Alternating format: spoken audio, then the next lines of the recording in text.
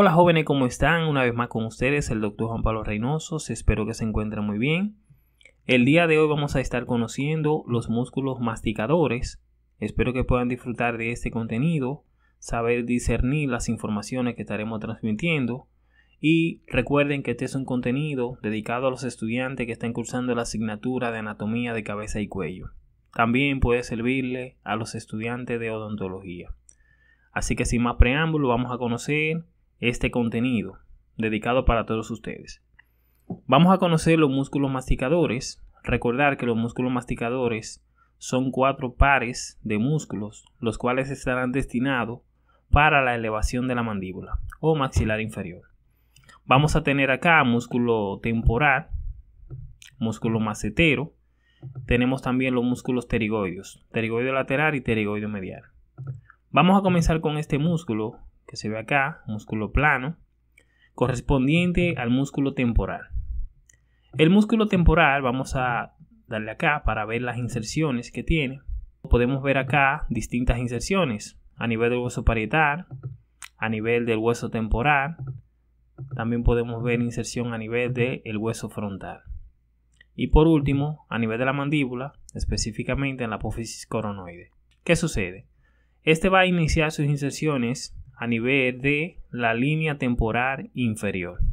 Línea temporal inferior viene siendo toda esta parte donde se inserta el músculo temporal correspondiente a estos huesos. En sus porciones tenemos acá el frontal, su porción escamosa, también el parietal en su mayor proporción ayuda a formar parte de la línea temporal inferior. También ese músculo temporal tiene una inserción en la cara profunda de la fascia temporal o lámina profunda de la fascia temporal. Desde acá sus fibras van a converger todas. Tiene tres tipos de fibras, fibras horizontales, fibras oblicuas, fibras verticales. Esas fibras convergen, se convierten en un tendón y culminan acá a nivel de la apófisis coronoides de la mandíbula. Recuerden eso. Acá podemos ver. Este músculo interviene en la elevación de la mandíbula, que es lo que estamos viendo acá. Esa es la acción del músculo temporal. Elevación de la mandíbula. Lo está haciendo ese músculo. Y eso es importante reconocer esa acción. Vamos a ver también que ese músculo temporal permite un movimiento llamado movimiento de retracción de la mandíbula o retracción. Ese es el movimiento de retracción de la mandíbula. Podemos ver el maxilar inferior cómo se coloca por detrás del maxilar superior. Eso es lo que se conoce como movimiento de retracción o retropulsión. Este movimiento es contrario al que se produce por el músculo pterigoideo lateral o los músculos pterigoideo lateral. Recordar acá que los músculos masticadores per se todos van a ser inervados por el ramo mandibular del trigémino, que es el ramo más importante que tenemos acá. Vamos a ver ahora el músculo macetero. El músculo macetero tiene varias porciones. Tiene una porción superficial acá y una porción profunda también conocido acá como cabeza superficial y cabeza profunda. Veremos sus inserciones. Miren aquí.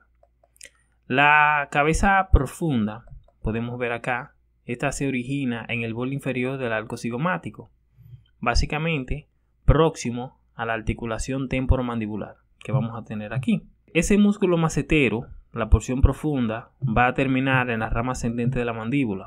Aquí podemos ver, terminando en la rama ascendente de la mandíbula pero también se puede unir a la porción superficial, que la veremos a continuación.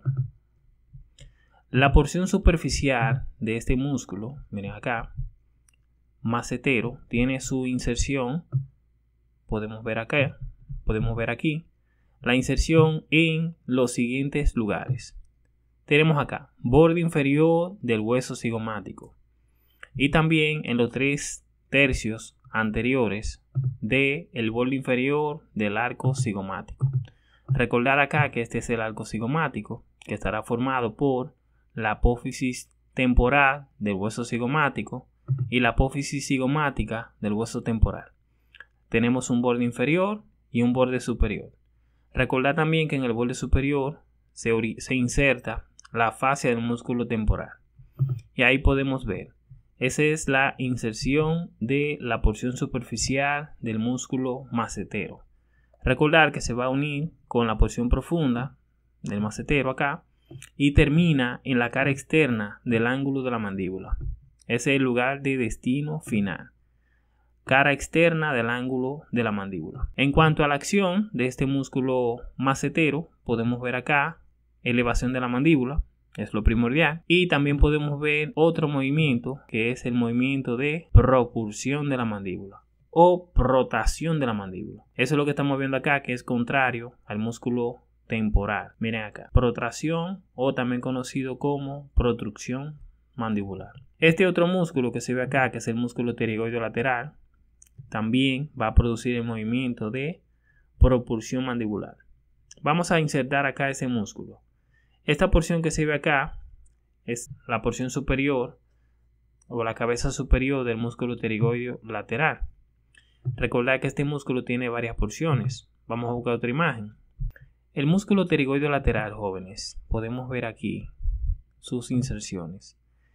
Esto acá corresponde a la cabeza inferior del músculo pterigoideo lateral. Esas inserciones las vamos a ver básicamente a nivel del efenoides, específicamente a nivel de la lámina lateral de la apófisis pterigoides. Es lo que estamos viendo acá. ¿Qué sucede? Que esa porción va a terminar en el cuello de la mandíbula, que es lo que estamos viendo acá. A nivel del cuello de la mandíbula es el lugar de destino final de esa porción, que es la porción inferior del músculo pterigoide lateral. Vamos a ver la otra porción. Esta porción que se ve acá se está insertando en el ala mayor del esfenoide, en la cresta esfenoidal, acá. ¿Qué sucede? Esta porción se va a unir a la porción que se encuentra inferiormente. Esta es la cabeza superior, como dice su nombre.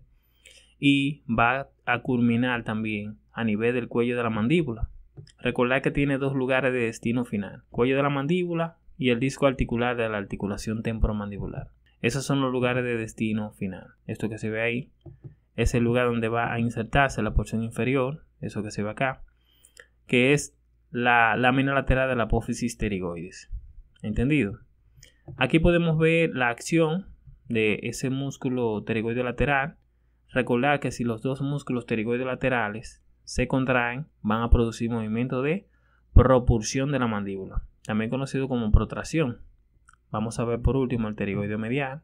Para identificar el pterigoideo medial, nos vamos acá y recuerden que ese músculo pterigoideo medial se va a encontrar medialmente. Miren allá. Ese es el músculo pterigoideo medial. El pterigoideo medial, como dice su nombre, este se origina a nivel de la fosa pterigoidea. Miren ahí. Fosa pterigoidea. Vamos a poner el nervio para verlo mejor. La porción del músculo. Miren, este músculo se origina en la fosa pterigoidea. Algo muy interesante es que este músculo va a llegar hasta el ángulo de la mandíbula también. Podemos ver acá. El ángulo de la mandíbula, de la rama ascendente también, específicamente en la cara interna del ángulo de la mandíbula. Esa va a ser la inserción final del músculo pterigoideo medial. ¿Qué pasa?